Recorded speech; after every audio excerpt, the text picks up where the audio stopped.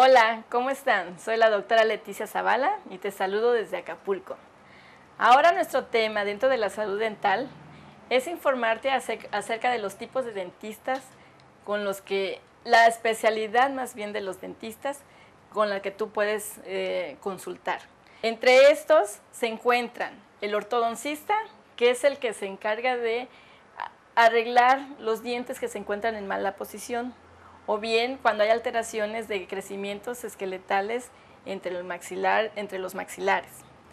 otra especialidad dentro de la odontología es el endodoncista. Limpia o eh, sana lo que es los conductos de los dientes en donde va el nervio. Entonces limpia estos conductos para evitar todo tipo de infecciones odontogénicas.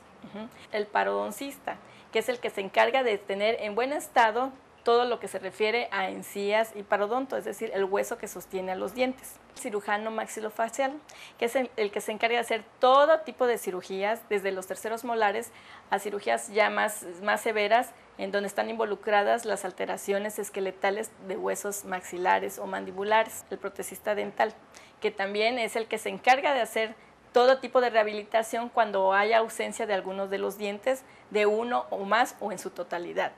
Y el patólogo bucal, que es el que se encarga de hacer todo tipo de, todo tipo de estudios acerca de alguna referencia de alguna patología encontrada en boca.